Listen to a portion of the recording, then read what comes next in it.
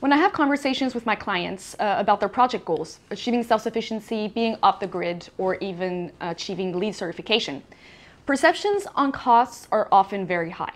And they range from anything between 20% more to even twice as much as a conventional building. Now, these numbers are very far off, but they might happen if the methodology that you use to achieve self-sufficiency is flawed. You see, you can't just add solar panels on an efficient building and expect it to be cost effective. There's actually a process for you to achieve that. You first have to reduce demand before you supplement it with renewable energy. Let's have a look at how we can do that. So before we go into the details, let's look at what uh, off the grid actually means. So there are several expressions out there, so meaning basically referring to the same concept. So one of them is off the grid. Uh, another one would be self-sufficiency, or you've probably even heard of net zero. Now, purists would have a very specific definition for each of these uh, concepts uh, and would argue that they differ in the way that they are achieved. Now, this is true, but all in all, they refer to the same kind of idea, which is a building that produces as much as it needs. So most of the time we're talking here about energy, but this concept can be extrapolated for, to water, for instance, or even uh, food. So the first part of the job is going to be about energy conservation. Um, so here you want to reduce the energy demand as much as possible from the very onset of the project. So we're going to talk about architecture. The idea here is about introducing climate-based design uh, and uh, incorporating as much as possible passive design techniques into the project. So first things first, you're going to look at your site uh, and you're going to be uh, wanting to choose uh, the correct orientation uh, of your building depending on the latitude of your project site. Secondly, it's about the shape of the building.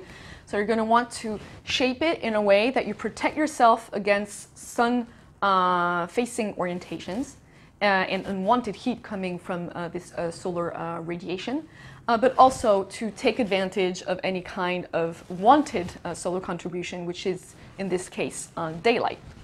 Third part is about the envelope and facade. So this is basically the skin of your building. And here you want to improve the thermal performance of that skin. In tropical countries, you want to protect yourself against unwanted heat. And you're going to do that uh, by adding insulation on all different surfaces.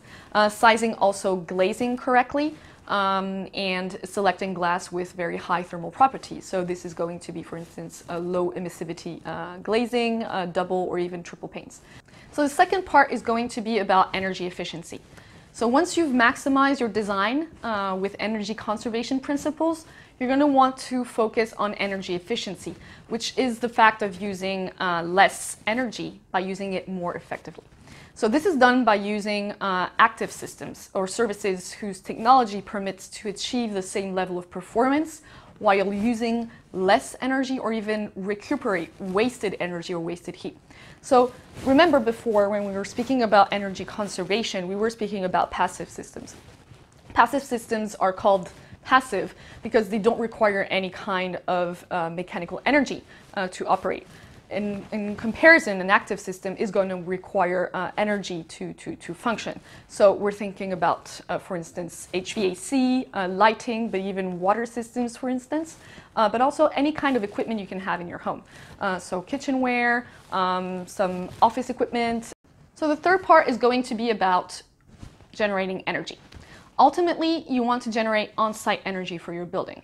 The idea is to supply as much as possible for your building's demands. If not totally, in which case you would have reached uh, net zero energy performance and be potentially off the grid. But now you can also think to be partially connected to the grid. First, in case that you need to generate more energy for a peak demand. Secondly, if your generator runs out uh, and then you would still uh, not be cut from power. Um, and thirdly, if this grid is actually supplied by renewable energy itself, so the municipality, for instance, has a uh, small solar plant, then you're also uh, um, eligible for any kind of renewable uh, energy certificates. So here you want to uh, be taking once again uh, advantage of local climatic conditions. And when you think Thailand, when you think tropical countries, you think sun. So sun is extremely abundant uh, in, uh, in the region and uh, so this is actually one of the most popular option being solar PV.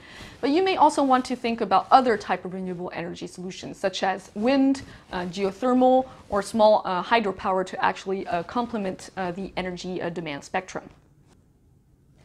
So to sum it up, if you want to be off the grid, uh, achieve self-sufficiency, or have a net zero energy building cost effectively, uh, you should follow this uh, three-step process, which is one, energy conservation. So this is everything about the architecture and passive design systems. Two, energy efficiency. So this is about systems, equipment, and appliances that use energy more effectively. And third, uh, generating uh, energy with renewable energy uh, sources on site, such as solar. Four, don't forget about the batteries to store or to be connected to the grid so that you can supply in times of greater need. If you're looking for more design recommendation like these and you want to incorporate green and people-centric features in your next project, go have a look at our green design brief. We've combined all this information and more to access that brief, there's a link below. Just follow it and fill in the form. Thank you very much.